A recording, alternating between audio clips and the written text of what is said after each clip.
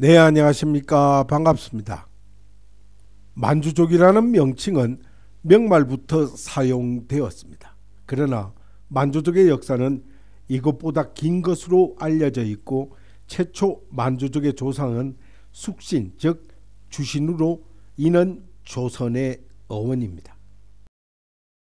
네, 신나는 구독과 좋아요 잊지 마세요. 기원전 1천년경에 이미 주나라 왕조와 사신 왕래 기록이 있습니다. 그리고 한나라 때는 숙신을 음누라 불렀으며 남북조 시기에는 물길 수나라 때는 말갈로 불렀습니다. 그리고 송말 말갈은 발해국의 핵심 부족이었습니다. 5대 시대에는 여진으로 불렀으며 흑수 말갈의 후예인 완안부가 일어나서 1115년에 아골타가 금나라를 세웁니다. 그리고 여기에 16세기 들어 건주 여진에 걸출한 영웅인 누르와치가 여진의 제부족을 통일하고 여진족이 핵심이 되어 만주 공동체를 구성합니다. 이 만주족의 성씨를 알기 위하여는 반드시 하라와 무쿤의 관계를 명확히 알아야 합니다. 여진족이 형성한 북의 혈족 조직에서 하라는 씨이고 무쿤은 족입니다. 큰 혈연 집단은 하라이고 혈연 관계의 친소에 따라 다시 다음 등급의 혈연 집단으로 나누어지는데 하나의 하라 안에는 여러 개 무쿤이 존재합니다. 따라서 하라는 큰 범위의 혈연 집단이고 무쿤은 그 안에 작은 집단이 되는 것입니다. 여기서 말하는 하라는 한족의 장왕, 이송 등의 성에 해당합니다. 그리고 여전족에는 푸차씨, 페이모씨, 과열과씨 등이 있습니다. 그리고 청나라 때 편찬된 만주어 사진에는 하라는 성으로 번역하고 무쿠는 족으로 번역했던 것입니다. 그리고 이 혈연 집단은 지연 집단으로 발전을 하는데 혈연은 하라와 무쿠는 지연의 가산과 파란으로 발전합니다. 가산은 향으로 파란은 리로 번역될 수 있습니다. 그리고 만주족 8기를 조직할 때 우룩이 기준이 되는데 우룩은 우룩 액진 후에 우룩 장경으로 계층하여 관장합니다. 이는 하나의 혈연 집단만으로 하나의 우룩을 구성할 수 있는 경우에는 하나의 혈연 집단만으로 구성을 하되 그 하나의 혈연 집단으로 부족하면 여러 개 혈연 집단으로 하나의 우룩을 구성합니다. 또한 매 하라에는 족장에 해당하는 하라다가 있습니다. 청나라 때 만주족이 자녀를 낳으면 우룩 액진에게 가서 등기를 한 후 다시 하라다에게도 등기를 해야 합니다. 그리고 평상시에는 성을 부르지 않지만 결혼 등을 위해서는 하라다에게 등기해야 하므로 이는 같은 혈족은 결혼할 수 없도록 한 것입니다. 그리고 해서 여지는 호륜 사부가 있습니다. 예허, 우라, 하다, 휘파 사부 성은 모두 나라입니다.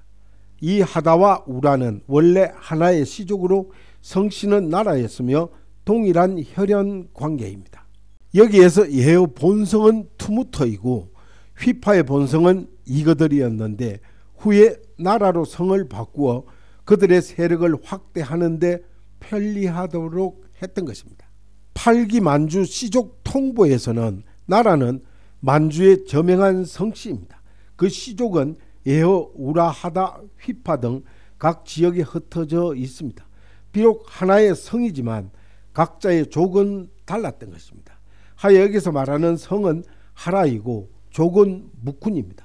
따라서 나라라는 하나의 하라 내에 네 개 무쿤이 존재하는 셈입니다. 사람들이 애신 강라 즉 아이신 지로의 성씨에 대하여 오해를 가지고 있습니다.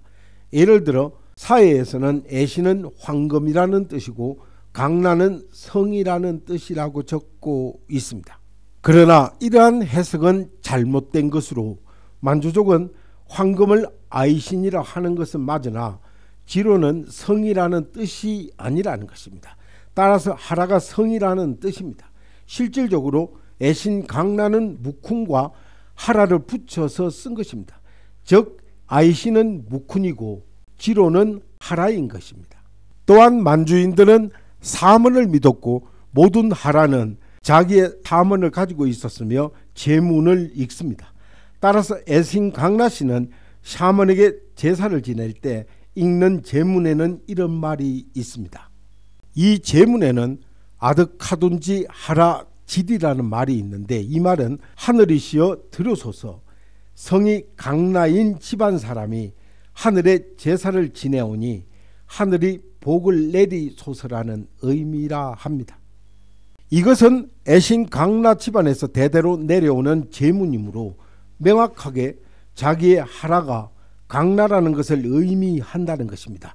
따라서 애신은 강나라는 하라에게 갈라진 하나의 묵훈이 되는 것입니다.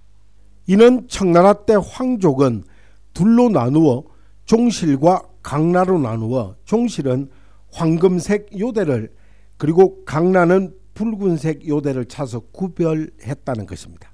또한 청나라 규정에 따르면 누르아치의 부친인 다크스의 직계 자손은 종실이고 그의 백부 숙부 형제의 자손은 강나라 합니다.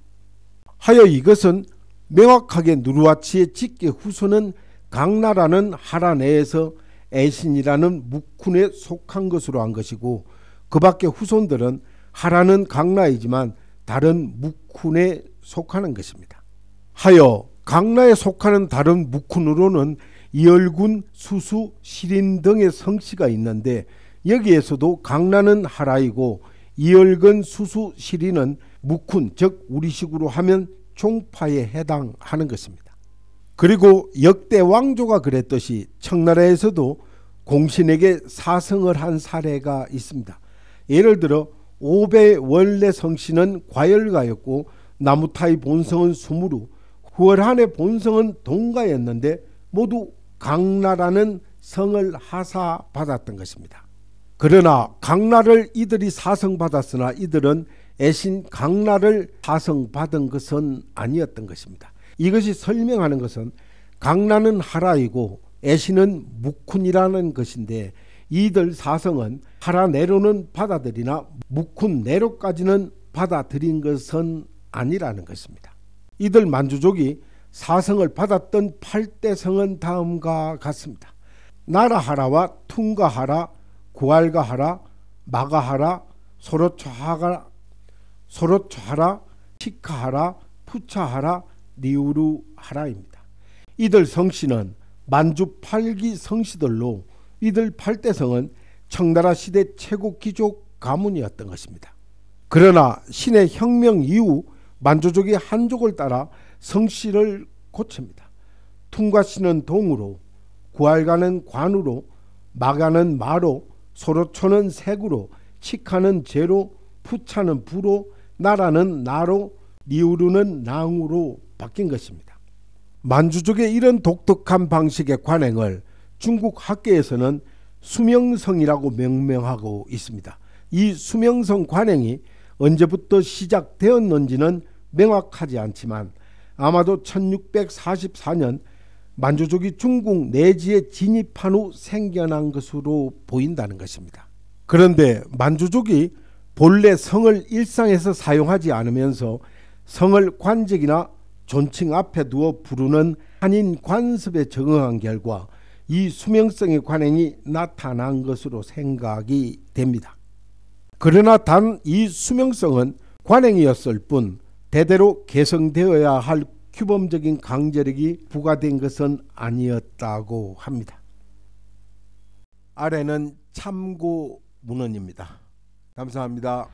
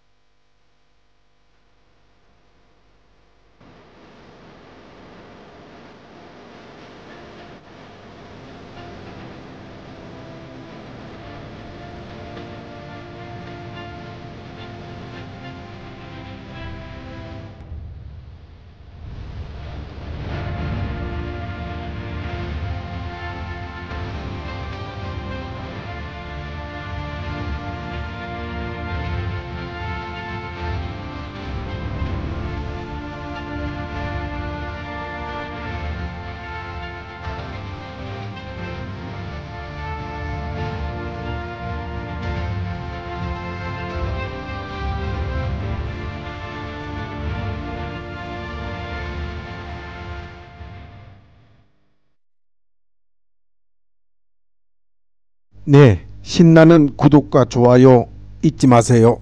네, 이만 마치겠습니다. 감사합니다.